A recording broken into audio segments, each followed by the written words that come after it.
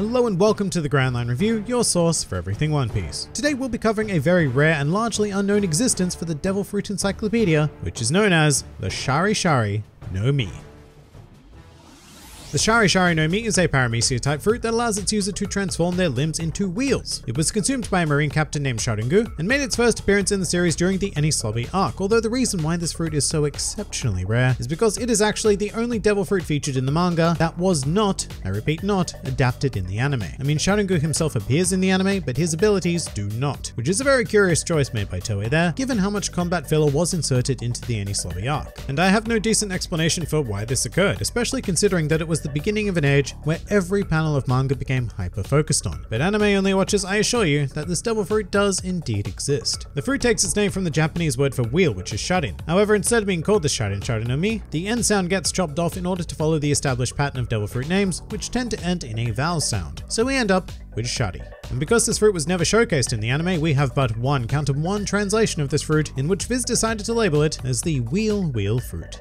So stepping into the realm of powers, this week is another strange and specific ability granted, whereby one's limbs can become wheels. Now the immediate benefit of such a thing is obviously transportation. For example, by turning your two feet into wheels, you'd become a human Segway. And from what we've seen, which is literally one panel of manga, the user of the Shari Shari no Mi is able to move these bodily wheels at pretty exceptional speeds, which may even rival that of your average motor vehicle. And speaking of, if just turning your feet into wheels isn't sturdy enough for you to travel at such high speeds, then it really is just a simple matter of adding your hands or arms to the equation and more or less turning yourself into a car. Now there is some question about the potential damage that could be caused by moving your body at such high speeds, but you'd have to assume that the innate abilities granted by the Devil Fruit cater for this by hardening or making the affected areas far more durable in general somehow. Because without such a mechanism, this Devil Fruit does become pretty undesirable to use, unless of course you were a proficient wielder of armament haki, which your average individual would not be. But with all of this in mind, transport certainly is not the only way to put the Shari Shari no Mi to use, and it holds a nice chunk of potential on the battlefield, because not only do high-powered wheels provide a nice mobility advantage, but the speed at which you could theoretically strike an opponent would lead to heavily increased force of attacks. Sort of like the theory behind how Bellamy uses the Bane Bane no Mi, the Spring Spring Fruit, to build up momentum and then hit hard. Except with the Shari Shari no Mi, it would be much easier to initiate said momentum, albeit in a less versatile way because you would need a very flat surface, whereas the user of the Bane Bane no Mi can just bounce off whatever they want. However, there is also the possibility of using your wheels themselves as a weapon, which could cause some pretty devastating damage. However, I should point out that this idea was demonstrated against Franky, but it did prove ineffective due to him blocking it with his cyborg body. Against a flesh and blood combatant, I suspect it would be a much more potent hit. And in terms of defense, should you be able to spin fast enough, there's the potential of being able to deflect attacks aimed at you like swords and or bullets. And perhaps we could even explore a method of transportation involving flight. I mean, in theory, I suppose if the user could spin part of themselves fast enough, then they'd more or less become a human helicopter. You know, the same sort of thing that Buffalo can achieve with his devil fruit, the Guru Guru no Mi. And furthermore, up until now, we've only been thinking about this from a perspective of turning one's limbs into wheels, but it is entirely possible that this fruit may also allow its user to transform into one big wheel. You know, like a sort of Sonic the Hedgehog effect. And speaking of Sonic, but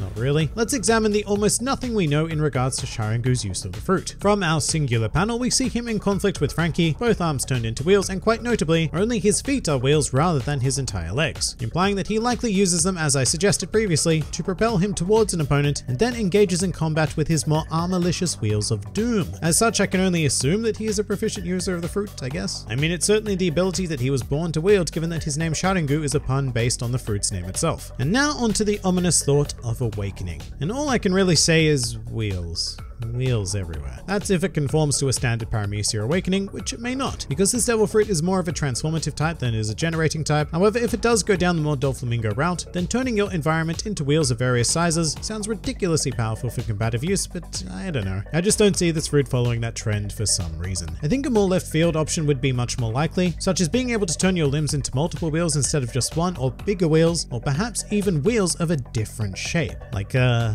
like, I don't know, a square? Some other miscellaneous things to consider when becoming a wheel human.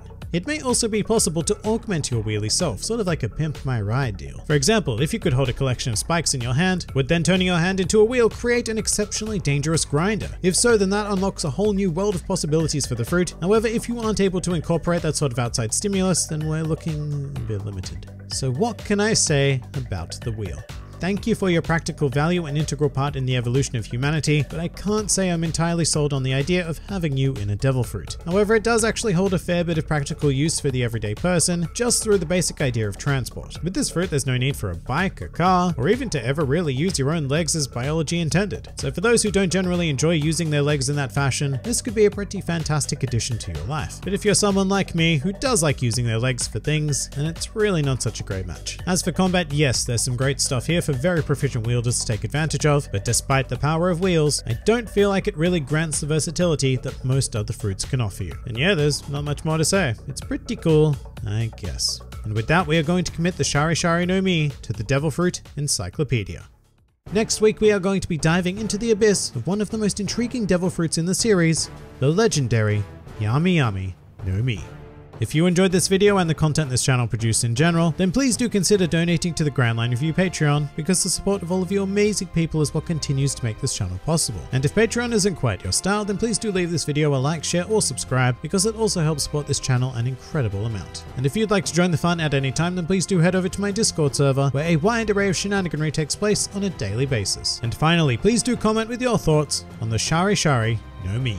This has been the Grand Line Review, and I'll see you next time.